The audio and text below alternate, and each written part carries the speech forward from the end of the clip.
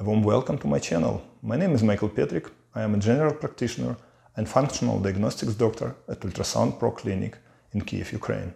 And today I'd like to tell you about an easy way to increase immunity against cancer and viruses. It will be about natural killer cells, also known as NK cells. NK cells are part of the innate immune system that make up about 5 to 15% of all lymphocytes in the blood. Lymphocytes are part of white blood cells that carry specific immune function. NK cells provide anti-cancer and antiviral activity independently, without the involvement of other immune system cells. Our immune system can recognize and distinguish between self and non-self. NK cells circulate throughout the human body in the bloodstream and come into contact with everything vessel walls, cells, tissues, and organs. If the cells belong to you, they must show proof. In humans, this proof is called Major Histocompatibility Complex 1, or MHC1. MHC1 is unique to each person like a fingerprint. NK cells have special sites on their membranes that can bind to MHC1 molecules. These sites are called NK cell receptors. If NK cell receptors bind to MHC1 molecules belonging to cell cells, NK cells are inactivated.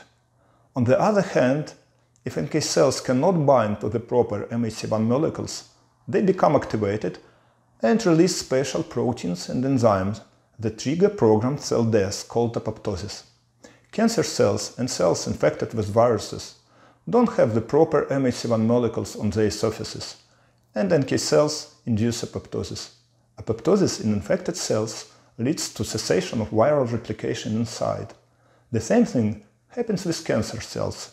They stop dividing and go to their death. For example, the proper functioning of NK cells prevents the spread of herpes simplex viruses. People infected with herpes simplex viruses and having high NK cell activity don't have lesions on their skin and mucous membranes. Conversely, people with poor NK cell function suffer from severe viral diseases and are more likely to develop cancer. As you can see, it's essential to maintain good NK cell function to prevent infections and destroy cancer cells. Therefore, if we could increase the number and activity of NK cells each time we encounter an infection or cancer cells, our disease resistance would also increase. But how to do it? I recently came across an easy way to activate NK cells. It's just a walk in the woods. As you may know, there are many compounds called phytoncides in the forest air Leaves, especially coniferous trees, produce phytoncides. Phytoncides have beneficial effect on our body. For example, they can lower cortisol levels and blood pressure and calm the nervous system. In 2007, a scientific study was conducted in Japan. It showed that being in the forest significantly increased the number and activity of NK cells. An analogous study was replicated in 2018 in Taiwan. Both showed similar results. In the first study, 12 healthy men aged 37 to 55 were selected from three large companies in Tokyo, Japan. The subjects made three days two nights trip through three different forest fields. On the first day, they walked for two hours in the afternoon through a forest field. On the second day, they walked for two hours in the morning and the afternoon respectively in two different forest fields.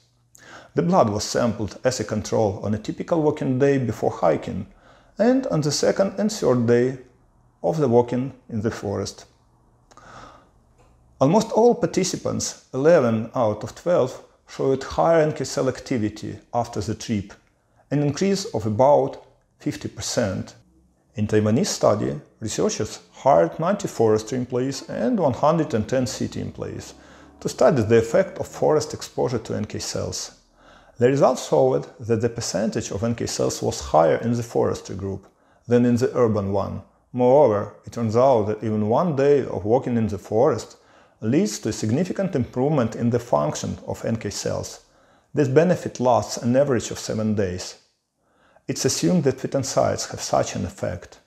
According to some studies, the most significant concentration of phytoncides is found in coniferous forests during the warm season.